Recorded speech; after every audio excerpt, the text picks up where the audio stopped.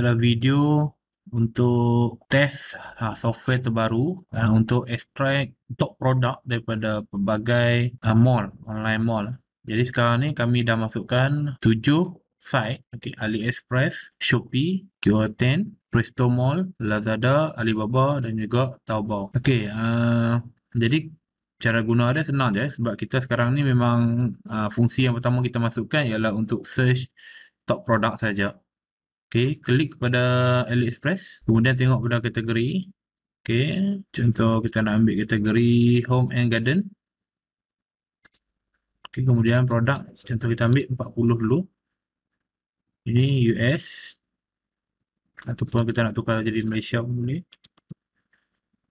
Okey, Malaysia. Currency biar USD sebab dia AliExpress kan jadi kita fetch produk. Ok di sini kita produk sudah 40 ok ini ialah uh, top produk lah. Di sini akan ada produk image produk title produk ID kita terus boleh buka. Uh, home uh, ni kategori dia. Dia punya harga dia punya discount. Ok quantity sold. Ini dia punya produk URL kemudian dia ada rating ada seller ID nama kedai dan juga shop link Ha, ni untuk pergi kedai terus.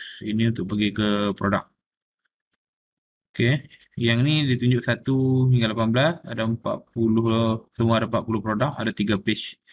Jadi boleh next, next je lah. Okey, uh, produk image ni dia akan lambat sikit. Bergantung kepada anda punya kelajuan internet. Okey. Jadi kalau tengok di AliExpress untuk bahagian home and garden, uh, inilah produk yang popular. Anda boleh sort ikut harga, anda boleh sort ikut quantity sold. Okey, uh, kemudian kita tengok kepada Shopee. Okey, Shopee dia ada buat perubahan kepada top produk dia. Jadi yang tu nanti kami akan update lah dalam versi yang kedua. Uh, dia kena refresh sebab setiap kali uh, kita refresh dia akan keluar produk yang berlainan, kategori yang berlainan. Jadi untuk sekarang ni kategori yang ada ialah ini sajalah. Ha, ini saja. Ini saja produk yang popular. Okay, jadi kita tengok pada contoh iPhone casing, iPhone casing, kemudian produk 40, kemudian fetch. Okey, dia akan keluar macam ni lah. Okey, ini ada ada gambar. Ha, jadi kita boleh tengoklah gambar dia. Okey, gambar produk. Ini produk-produk yang laku lah. Okey, kemudian okay, kita sesuai harga. Ini yang paling murah inilah. 0.88 sen.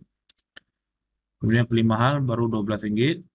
80 sen. Okay, untuk yang uh, Shopee, kita ada banyak lah rating, kita ada produk sold, okay, berapa yang terjual. Okay, paling banyak terjual 1433. Itu produk ni lah. Okay, yang ini. Okay, kita semua boleh tengok ni. Sampai hujung, ada macam-macam lagi shop overseas. Lepas tu like dia berapa, product view berapa, nak tengok product view. Ini 36,000 produk yang paling banyak dilihat yang itu juga. Okey, untuk download semua ni boleh pergi pada filter. Okey, export data. Uh, ada tiga format okey untuk kita download. Satu Excel, satu uh, CSV. Kemudian uh, ini save all product image. Klik lepas tu dia akan save lah product image tu. Contoh kalau dalam uh, Excel dengan CSV uh, ni dia tak ada gambar, dia hanya data saja tapi masih lagi boleh tengok lah gambar tu bila kita klik link dia. Contoh kita klik ya. Okey, kemudian kita buka dia punya file. Okey, ni macam ni. Okey, product image dia dah ada link. Okey, ni ada link dia. Jadi kita buka aja.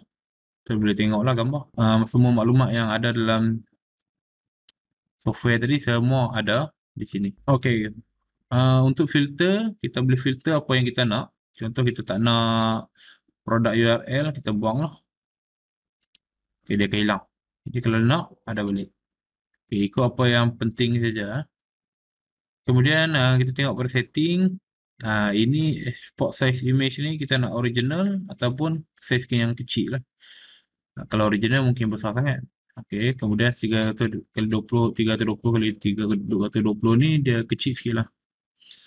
Okay, kemudian kalau nak export data, save all product image. Ini paling senang lah. Klik terus save. Okay, ini keluar dia punya, uh, dia punya gambar. Ini gambar dia. Okay, kita buka ya. Dia akan terus pergi kepada gambar tadi lah. Uh, pergi terus kepada produk. Okay, uh, banyak lagi uh, feature yang kami akan tambah dan juga site yang kami akan tambah ni. Jadi ikut permintaan nantilah. Ikut permintaan pada pengguna. Kalau ada apa-apa yang web yang kita nak tambah, nanti kami akan tambah lah. Dan juga feature. Contoh nak follow ke, nak auto follow, uh, unfollow ataupun apa-apa saja yang sesuai dimasukkan, kami akan masukkan di menu di sini lah. Okay, jadi untuk yang uh, versi pertama beta ni, uh, ini saja. Setakat ni fungsi yang ada. Jadi tugas software ni adalah untuk kaji produk apa yang senang dijual di laman web-laman web yang tertera di atas ni. Okay, kita jumpa dalam video yang seterusnya.